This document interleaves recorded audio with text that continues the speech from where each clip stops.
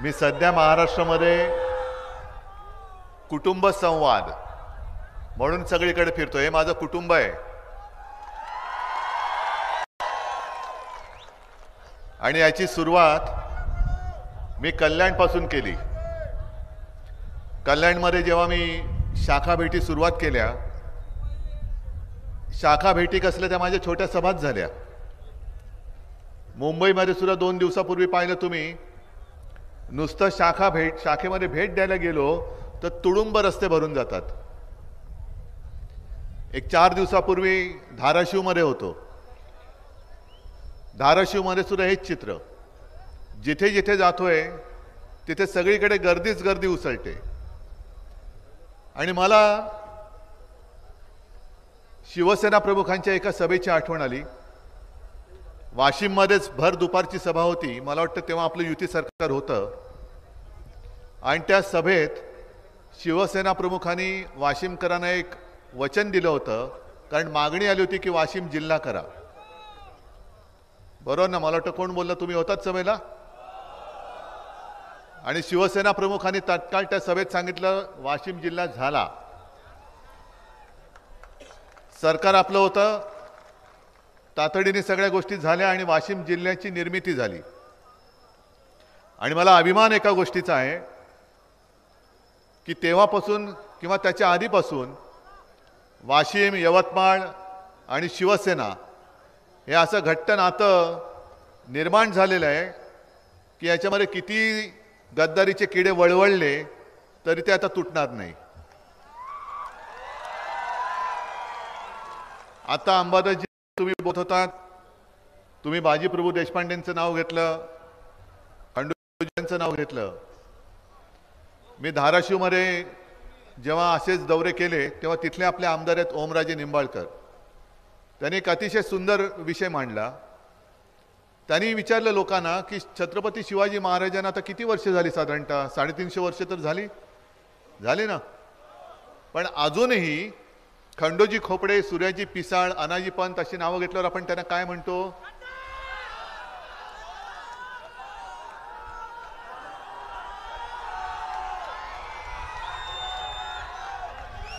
म्हणजेच काय? की खंडोजी खोपडे सूर्याजी पिसाळ यांच्या कपाळावरचा गद्दारीचा शिक्का तीनशे चारशे वर्ष झाली तरी पुसला जाऊ शकत नाही. तर या गद्दारांचा किती जन्म घेतले तरी पुसला तो जाणार नाहीये. किती जन्म घ्या? गद्दार तो गद्दारच. पण एक गोष्ट काही काही असं म्हणतात ना काही वेळेला होतं ते चांगल्यासाठी होतं. नाहीतर एक आपलं डबकं साचतं त्याच्यामध्ये नवीन पाणीच येत नाही. मग डास होतात शेवाळे होतं.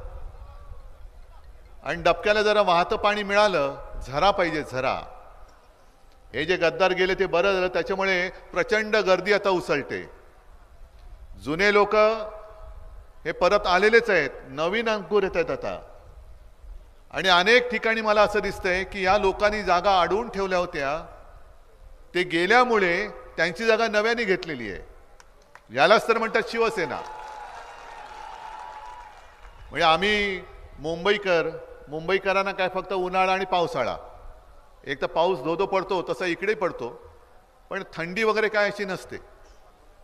पण निसर्गाचा एक नियम आहे की पानगळ होते. जी पानं स जी सडतात सडलेली पानं झडतात. आणि ती सडलेली पानं झडलीच पाहिजेत. जेव्हा ती सडलेली पानं झडतात तेव्हा नवीन अंकुर फुटतात. ही सगळी सडकी पानं आता झडून गेलेत. आणि नवीन अंकुर फुटलेत धुमारे फुटलेत. माझं तर भाडोत्री जनता पक्षाला आव्हान आहे अरे काय बोललो मी? भाडोत्री जनता पक्ष बोललो काय चुकीचं बोललो काय? कारण सगळं काही त्यांच्याकडे भाड्यावर चालतं. पैसा माप स्वतःचं काहीच नाहीये. आणि नवीन नवीन योजना आणतायत. म्हणजे मी आता मुद्दामून कोणाचं नाव घेत नाही. पण आणखीन एक योजना कदाचित त्यांनी आणली असेल. भ्रष्टाचार अभय योजना. भ्रष्टाचारी अभय योजना. आणि तुमच्यापैकी काही जणांना फोन आले असतील की दादा तुमचं नाव अमुक अमुक आहे का? बरोबर ना? मग आम्ही भाजपच्या कार्यालयातून बोलतोय तुम्हाला प्रधानमंत्री अमुक अमुक योजना या अंतर्गत लाभ मिळालाय का? असे फोन येतात ना? मग तसे असे सुद्धा फोन येतील की नमस्कार गद्दारताई आहेत का? नमस्कार गद्दार भाऊ आहेत का? हा बोलतोय काय? तुम्हाला भारतीय जनता पक्ष भ्रष्टाचार अभय योजनेचा लाभ मिळालाय का? हो मिळालाय मिळालाय. बरं आता तुम्हाला काही ईडी इन्कम टॅक्स सीबीचा काही त्रास आहे? सीबीआयचा त्रास आहे का? नाही आता काय त्रास नाही. मग परत तुम्ही भाजपला मत देणार का? अहो ते गद्दारानं विचारतायत. मग हे गद्दार काय सांगतील? अहो आम्ही मतं काय? आम्ही आत्तापासून त्यांची धुणीभांडीच करतो करतो धुणी भांडी करायलाच गेलेत तिकडे. बसा घासत. पण याला नशीब म्हणतात ही जिवंत माणसं. हे माझं वैभव वडलोपार्जित वैभव आहे माझं.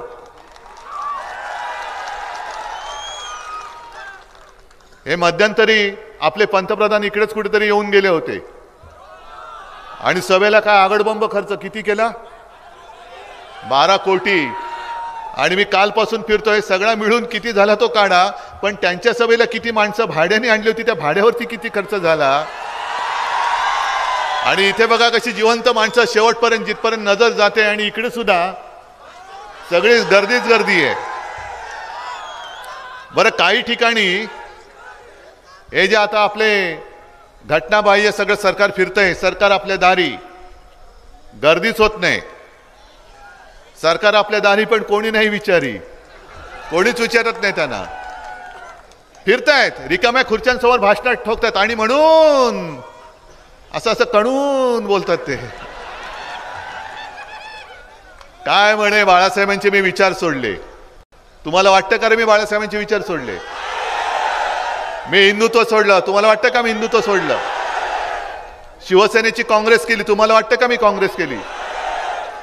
अरे तीस वर्ष भाजपा सोबत राहून शिवसेनेची भाजपा नाही झाली तर काँग्रेस कशी होईल? बरं मुळामध्ये आम्ही हिंदुत्व सोडलं तर हिंदुत्व आधी या देशाच्या राजकारणात आणलं कोणी? शिवसेना. आणि म्हणून तर हिंदू हृदय सम्राट या देशामध्ये एकमेव फक्त शिवसेना प्रमुख बाळासाहेब ठाकरे. आणि मी असंच नाही बोलत. एकोणीसशे सत्याऐंशी साली मुंबईमधल्या पार्लेची पोटनिवडणूक होती.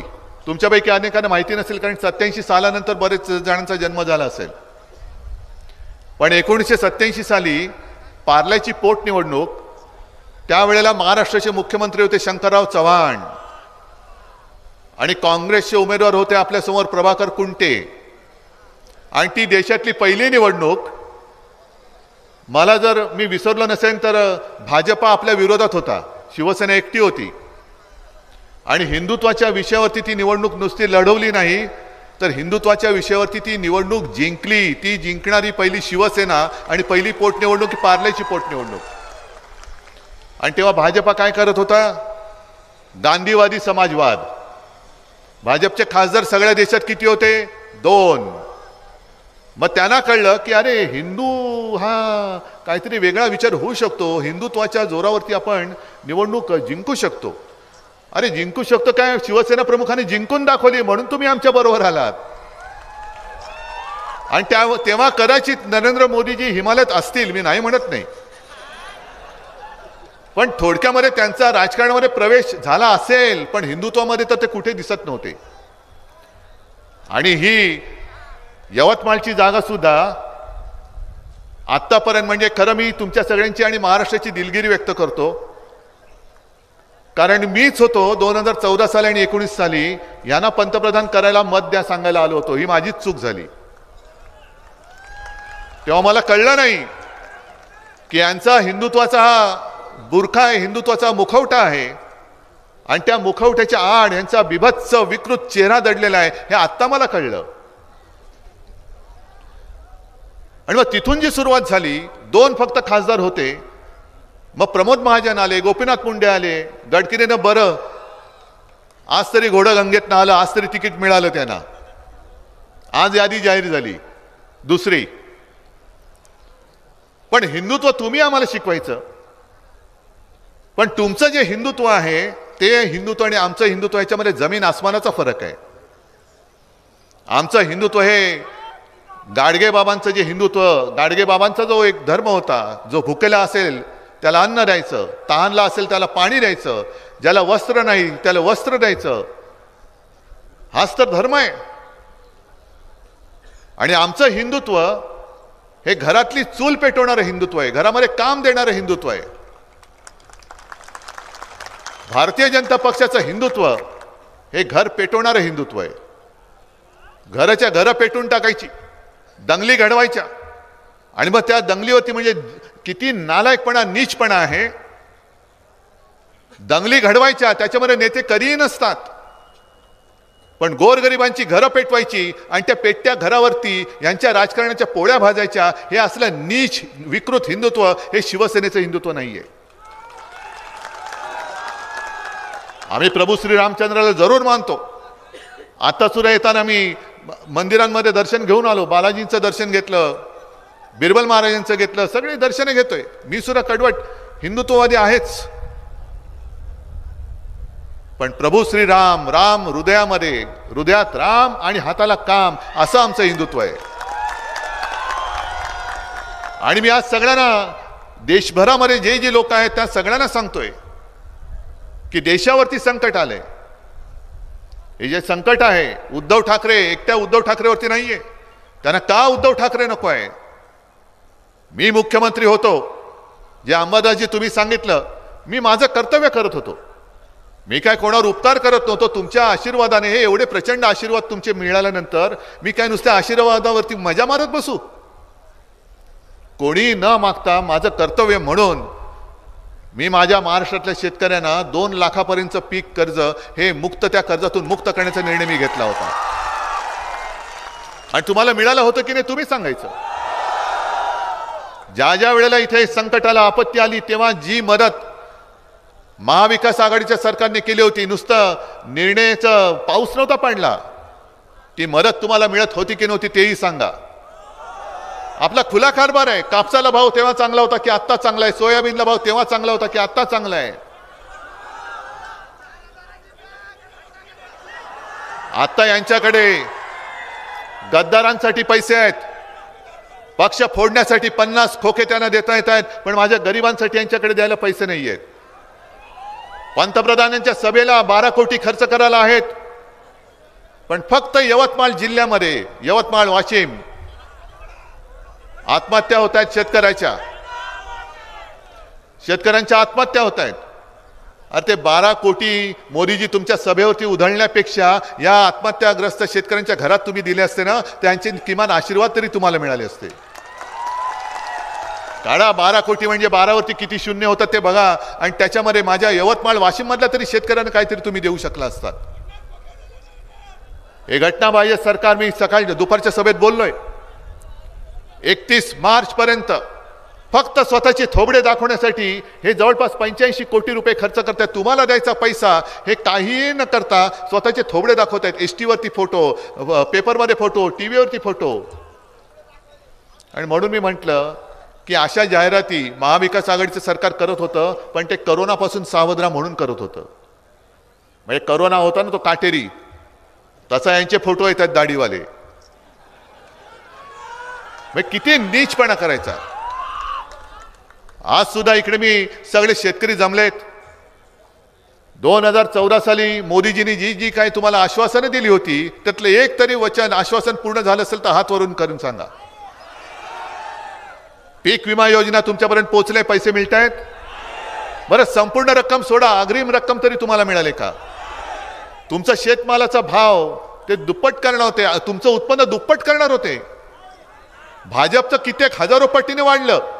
सात हजार सात आठ आठ हजार कोटी रुपये भाजपच्या तिजोरीत निवडणूक रोख्यांच्या माध्यमातून गेले. पण माझ्या शेतकऱ्याच्या उत्पन्नाचा खर्च वाढला तिकडे.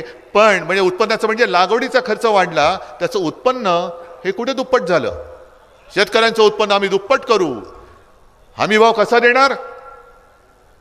तुमचा सगळा जो काही लागवडीचा खर्च असेल त्याच्यावरशी वरती पन्नास टक्के रक्कम आम्ही अधिक मोजू आणि ती जी काय रक्कम येईल त्याचा तो हमीभाव म्हणून तुम्हाला आम्ही देऊ. किती जणांना मिळाले? प्रत्यक्ष तुमचा जो लागवडीचा खर्च आहे तो कमी झाला की वाढला? खतं तरी नीट मिळत आहेत का? बियाणं? दिवसा वीज? व्यवस्थित पाणी? आपत्तीमध्ये मदत म्हणजे यांच्या आश्वासनाचं सुद्धा बियाणं हे बोगसच निघाले. यांचं आश्वासनाचं बियाणं बोगस आहे. आता हे बियाणं बोगस म्हटल्यानंतर उद्या पीक काय येणार? परत देणार त्यांना मत? म्हणजे तुम्ही स्वतःपुरतं म्हणजे हा मेरा परिवार मोदी परिवार. मी कारण मी जी एक योजना केली होती माझं कुटुंब माझी जबाबदारी. करोनासारख्या कठीण काळामध्ये अवघड होतं. एक तर मला प्रशासनाचा अनुभव नव्हता. पण तुम्ही सगळे माझे कुटुंबियासारखे माझ्यासोबत राहिलात. जे जे मी सांगितलं ते ते तुम्ही ऐकलत.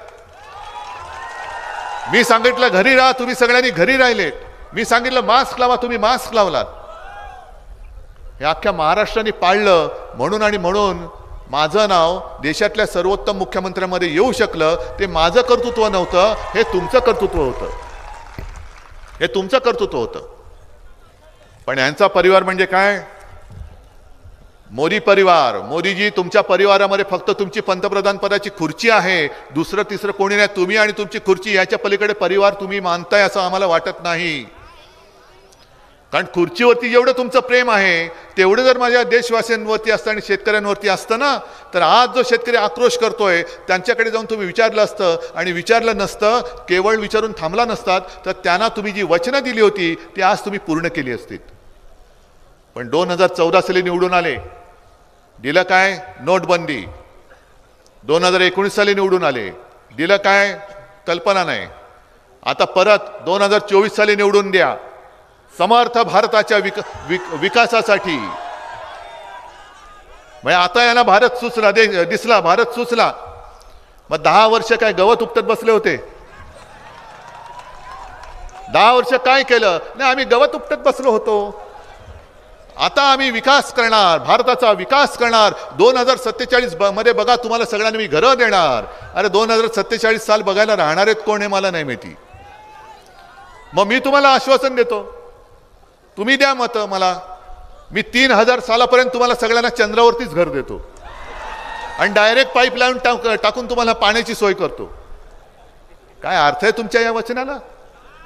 साधी साधी माणसं त्यांना आज खायचं काय? म्हणजे मला काही काही वेळेला खरोखर काळजामध्ये चर्र होतं. जेव्हा जेव्हा संकट आलं अवकाळी पाऊस असेल गारपीट झाली असेल दुष्काळ पडला असेल अगदी गेल्या वर्षीसुद्धा मी शिर्डीमध्ये फिरलो कारण तेव्हा दुष्काळ पडला होता. आणि तिथले शेतकरी मला विचारत होते काय उत्तर देऊ? तुम्ही सगळे शेतकरी आहात ना? अन्नदाता मी आहे का? तुम्ही आहे? तुम्ही आहात ना? आणि मी तुमचा नेता. मग तुम्ही जर का मला विचारलं की उद्धवजी मला सांगा आम्ही खायचं काय? काय उत्तर माझ्याकडे?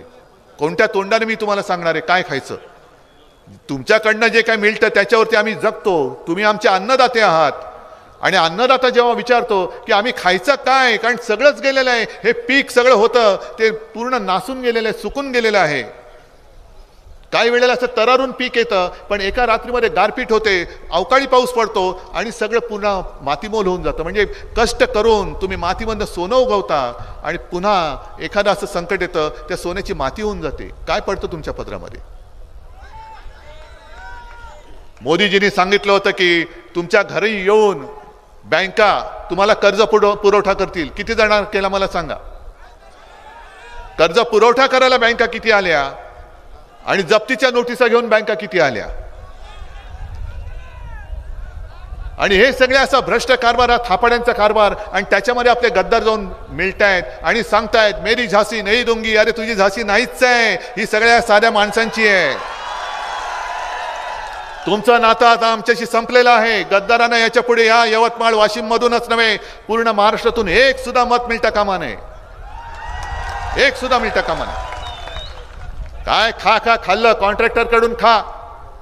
कुठला तरी काही कारखाना काढायचा त्याच्यामध्ये कर्जामध्ये खा सगळं खाल्लं. भ्रष्टाचाराचे आरोप झाल्यानंतर थेट दिल्लीमध्ये गेल्या आणि पंतप्रधानांनाच राखी बांधून टाकली. आता बोला काय करणार? ईडीवाले घरी आली का ते फोटो दाखवणार. आहे हिंमत? आमच्या आज सुद्धा माझ्या शिवसैनिकाला साध्या साध्या शिवसैनिकाला तडीपारीच्या नोटीस काढता घरामध्ये धाडी टाकता अगदी आमचा कोकणचा राजन साळवी आमदार त्यांच्या घरामध्ये घुसून सगळ्याचं त्यांनी मोजमाप घेतलं. हा हा पंखा किती याची किंमत किती दिव्याची किंमत किती खुर्चीची किंमत किती? शिवसेना प्रमुखांची एक खुर्ची त्या राजन साळवीनी त्यांच्या घरी ठेवले. अरे थांबा जरा. राजन साळवीनी त्यांच्या घरी ठेवले. ज्या खुर्चीत बसलेल्या शिवसेना प्रमुखांनी मोदीजींना वाचवलं. त्या शिवसेना प्रमुखांच्या खुर्चीची किंमत हे लावतायत नालायक लोक. जरा थांबा नाही तर इकडून भाषण करा. जरा थांबा बसा. त्यांनी किंमत केली. छत्रपती शिवाजी महाराजांच्या पुतळ्याची किंमत करतायत. म्हणजे माझ्या साध्या साध्या कार्यकर्त्याच्या घरी तुम्ही ED income tax CBI EO W सगळे पाठवत आहात. मग काय झालं इथल्या खासदारावरती? तुमच्याच एका माणसाने भाजपच्याच एका माणसाने इथे येऊन आरोप केले होते. त्या आरोपाच्या चौकशीचं पुढे काय झालं जनतेला उत्तर द्या. दुसरे जे गद्दार आहेत सेवालाल महाराजांचे भक्त मी सुद्धा सेवा सेवालाल महाराजांना मानतो. इथे सुद्धा सुनील महाराज वगैरे सगळे बसलेले आहेत. मी सुद्धा पोरा देवीला जाऊन आलेलो आहे. आमचे राजू नाईक सुद्धा जुने कार्यकर्ते आहेत शिवसेनेचे मुंबईमधले. पण काय सेवालाल महाराजांची शिकवण? कसं वागायचं हे सेवालाल महाराजांनी सांगितलेलं आहे. त्यातलं एकच एकच शिकवण आहे महिलांशी कसं वागायचं?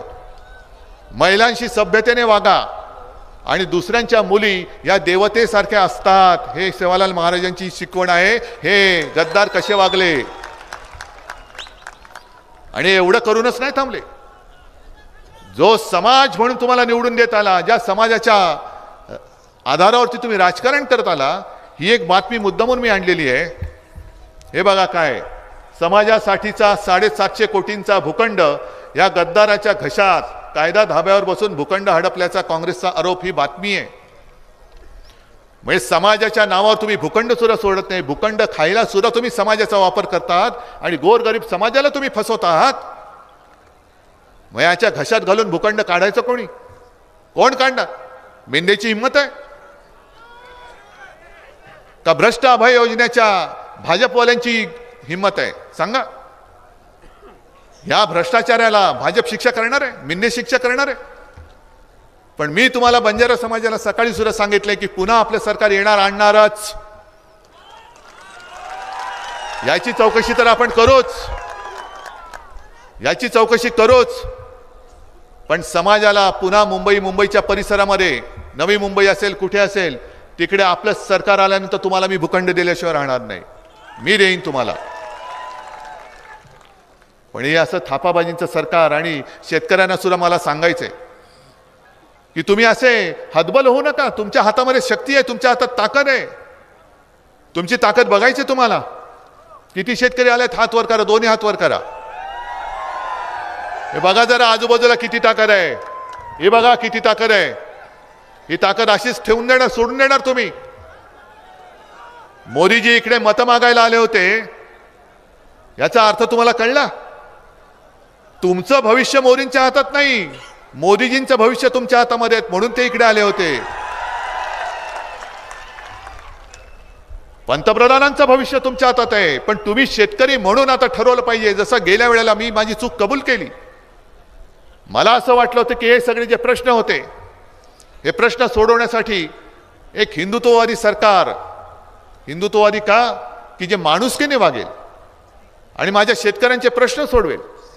तर शेतकऱ्यांचे प्रश्न तर सोडवत नाहीच आहे. उलट जे सत शेतकरी उत्तरेमध्ये दिल्लीत जाण्यासाठी निघालेत त्या शेतकऱ्यांनी दिल्लीत येऊ नये. म्हणून त्यांच्यावरती बंदुका रोखून पोलीस उभे केलेत. हिंमत असेल तर येऊन दाखवा. याद राखा दिल्लीत आलात तर गोळ्या घालू. अश्रुधूर सोडतायत. लाठीमार करतात. वाटेमध्ये खिळे टाकलेले आहेत. तारांचं कुंपण जे सीमेवरती असतं तशी कुंपणं टाकले आहेत मोठमोठ्या भिंती बांधल्यात. कोण आहेत शेतकरी? अतिरेकी आहेत. कोण आहेत शेतकरी? दरोडेखोर आहेत जर मोदी सरकार शेतकऱ्यांना दिल्लीत येऊ देत नसेल तर शेतकऱ्यांनी सुद्धा सांगायला पाहिजे की आता आम्ही मोदी सरकारला दिल्लीत येऊ देणार नाही. घ्या शपथ. आमची आहे दिल्ली. तुमचे उपकार आमच्यावरती नाहीत शेतकऱ्यांचे उपकार मोदीजी तुमच्यावर आहेत. म्हणून त्यांच्या उपकारामुळे तुम्ही दिल्ली बघता आहात. पण खुर्चीत बसेपर्यंत मेरा परिवार आणि खुर्चीत बसल्यानंतर सगळ्यांना हडतूड करता. बंदुका रोखता त्यांच्यावर अश्रुधूर सोडता. हे असलं नालायक सरकार मला नाही वाटत यापूर्वी कधी आपल्या देशामध्ये आलं होतं. आणि जी बॉम्ब मारतायत काँग्रेसने लुटले काँग्रेसने देश लुटला काँग्रेसने देश लु- लुटला निवडणूक रोख्यांचे जे काही एक ताळेबंद आलेला आहे तो ताळेबंद तुम्ही पाहिलात? नुसते दोन पक्षांचे हिशोब मांडा. जे भाजपवाले सांगतात काँग्रेसने देश लुटला त्या भाजपच्या अकाउंटमध्ये भाजपच्या बँकेमध्ये जवळपास सात हजार कोटी रुपये आहेत. आणि काँग्रेसच्या अकाउंटमध्ये सहाशे ते सातशे कोटी रुपये आहेत. मग तुम्ही मला सांगा देश कोणी लुटला? काँग्रेसने लुटला की भाजपने लुटला? जे भाजप वाले सांगतायत मोदी जी सांगतायत जो कांग्रेस ने साठ साल में नहीं किया वो मैंने दस साल में करके दिखाया करके दिखाया. काँग्रेसने इतक्या वर्षात सहाशे सातशे कोटी रुपये जमवले तुम्ही पाच वर्षात सात आठ हजार कोटी जमवले खरंच काँग्रेसला जे सत्तर वर्षात नाही जमलं ते तुम्ही पाच वर्षात करून दाखवलं. म्हणजे देशाला लुटतायत. हे शेतकऱ्यांना रडवतायत. बरं तुमच्या विभागात एकतरी उद्योग आला? यांची दुसरी जी योजना आहे हर घर नल से जल आलं पाणी? काही गावामध्ये नळ आला पण निधीचं पाणी कोणाकडे गेलं? पाण्याचा पत्ता नाही. नळ लावून मोकळे झाले काय बोंबलत बसणार? हे असं पूर्णपणे दगा देणारं सरकार. यांच्यासोबत जे जे गेले त्याला त्यांनी यांनी संपून टाकलं. गोव्यातला म- महाराष्ट्रवादी गोमंतक पक्ष त्याला त्यांनी संपवला. शिवसेनेला संपवण्याचा प्रयत्न करतायत पण शिवसेना तुमचं बारसं जेवलेली आहे. तुम्हाला या मातीत गाडल्याशिवाय शिवसैनिक स्वस्त नाही बसणार. संपूर्ण महाराष्ट्र आता पेटलेलं आहे. अरे शिवसेना कोणाची साध्या मुलाला विचार आणि मी तुम्हाला विचारतोय. मी त्या निवडणूक आयुक्ताचा निर्णय मानणार नाही मानत नाही. मग मी त्या निवडणूक आयुक्ताला सुद्धा मानणार नाही. तुम्हाला केवळ कोणीतरी बसवलं तिकडे म्हणून तुम्ही त्यांचे हुकमाचे ताबेदार होता आणि अन्याय करता. शिवसेना हे नाव आम्ही कोणाला घेऊ देणार नाही आणि ते निवडणूक आयोगाचा तो अधिकार आम्ही मानायला तयार नाही. कदाचित निवडणूक कदाचित नव्हे निवडणूक आयोगाचा किंवा आयुक्ताचा अधिकार निवडणूक चिन्ह देण्यापुरता आम्ही मानतो. पण शिवसेना हे नाव माझ्या वडिलांनी माझ्या आजोबांनी दिलेले आहे. आणि निवडणूक आयुक्त जर ते नाव गद्दाराला देणार असेल तर मी सुद्धा निवडणूक आयुक्ताला धोंड्या बोलणार आहे. मी बदलतो तुझं नाव. आणि आता सुप्रीम कोर्टाने जो एक परवा ताशेरे मारले सुप्रीम कोर्टाला मला विनंती आहे, मी काल सुद्धा केली विनंती की झाली आता दोन वर्ष झाली नुसतं आपलं दळण आपण दळतोय काय झालं काय झालं काय झालं मग सुट्ट्या येत आहेत मध्ये. मध्ये त्या लबाडाने त्या नार्वेकरनी टाइमपास केला. आणि चुकीचा निर्णय दिला. मग सुप्रीम कोर्टाने परवा विचारलं की विधिमंडळाच्या बहुमताच्या आधारावरती शिवसेना कोणाची हा तुम्ही जो निर्णय दिलाय तो आमच्या निकालाच्या बाहेरचा तुम्हाला वाटत नाही काय? आणि म्हणून मी आज जनतेच्या न्यायालयात आलेलो आहे. जी शिवसेना शिवसेना प्रमुखांनी स्थापन केली आणि ज्याचं नेतृत्व तुमच्या आशीर्वादाने मी करतोय तुम्हाला तुम्ही सांगा शिवसेना कोणाची? आपली आहे ना? मग जा त्या दाढीवाल्या गद्दाराला सांगा. अरे स्वतःच्या वडिलांचा अभिमान नाही मला माझ्या वडिलांचा अभिमान आहे मला माझ्या आजोबांचा अभिमान आहे. पण स्वतःचं कर्तृत्व काही नाही. वडिलांचं कर्तृत्व सांगण्यासारखं नाही. म्हणून तुम्ही आमचे वडील चोरता आमचा पक्ष चोरता आमचं चिन्ह चोरता. पण ही जी माझी जीवाभावाची सोबती आहेत जे संकट काळात सुद्धा माझ्या बरोबरीने उद्धव ठाकरे आप आगे बडो हम तुम्हारे साथ आहे म्हणणारी माझी जिवंत माणसं ही तुम्हाला चोरता नाही येणार. आणि आज मी आलेलो आहे मी तुमच्यासमोर जनतेच्या न्यायालयात आलेलो आहे मी तुमच्याकडे न्याय मागण्यासाठी आलेलो आहे. सर्वोच्च न्यायालयात निकाल लागेल तेव्हा लागेल पण त्याच्या आधी निवडणुका झाल्या तर तुम्ही मला न्याय देणार आहात की नाही मी विचारायला आलेलो आहे. इथून उमेदवार कोण तुम्हाला कळलेला आहेच? सांगण्याची गरज नाही. आणि प्रचाराला कदाचित मी आलो नाही तरी सुद्धा तुम्ही तुमचं काम करायला लागेल तुम्हाला. मग मला वचन देताय? इथून गद्दार ताईला आणि गद्दार भाऊला एक सुद्धा मत यवतमाळ वाशिम मधला जाता कामा नये.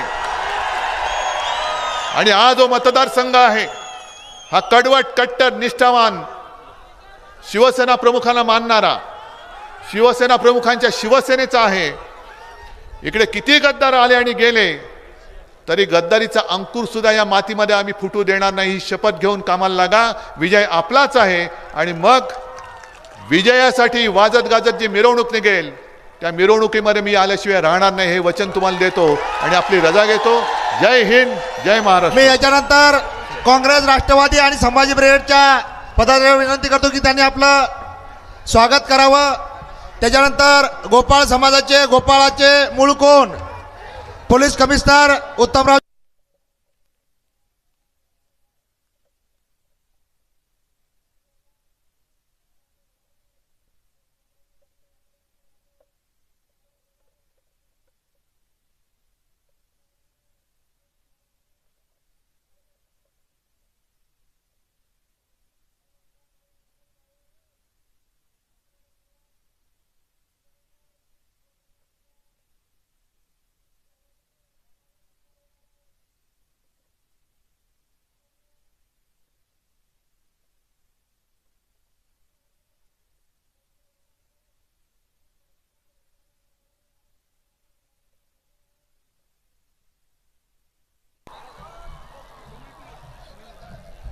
Sunil Maharaj.